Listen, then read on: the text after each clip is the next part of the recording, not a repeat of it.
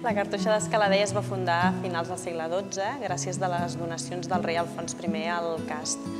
Uh, va ser la primera cartoixa que hi va haver a la península ibèrica i és molt important ja d'un bon començament el lloc on s'ubica el monestir perquè pels cartoixans era el desert, entès en el sentit medieval com aquell lloc solitari, allunyat de tot i de tothom. Eh? Un desert, però, que necessitava tot un seguit de condicions eh, bàsiques per a la seva convivència, entre elles doncs, això, la solitud, el silenci, la natura, eh, que és, eh, és, és la base en la vida cartoixana. El monestir es funda en el context històric de la reconquesta de la Catalunya Nova, de la reconquesta de la musulmana, per tant els cartoixans seran els encarregats de colonitzar i cristianitzar aquest territori. Eh, portaran famílies, es consolidaran petits nuclis de població i com que eren les terres del prior va rebre el nom de priorat i com que va ser un priorat molt important eh, doncs ha conservat el, el nom.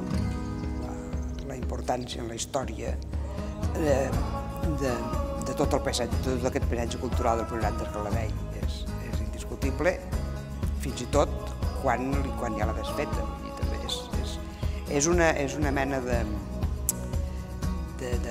de, que, que, que, que aglutina i que, sintetitza i catalitza tots els valors que surten a la, a la candidatura.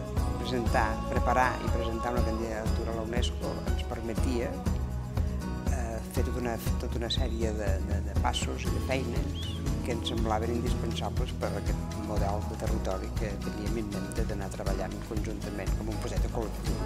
S'intenta una mica que des de la cartoixa es pugui arribar a tothom explicant què és el priorat i que, i que tothom ho senti com a seu. Fa uns anys que, que es fan aquestes activitats que es diuen capvespres a la cartoixa, que intenten ensenyar la cartoixa d'una altra manera, no? que no és la, la típica. Les pel·lícules que s'han triat sempre són de caire religiós, parlin dels cartoixans n'hi ha poquetes, no? com podria ser el Gran Silencio.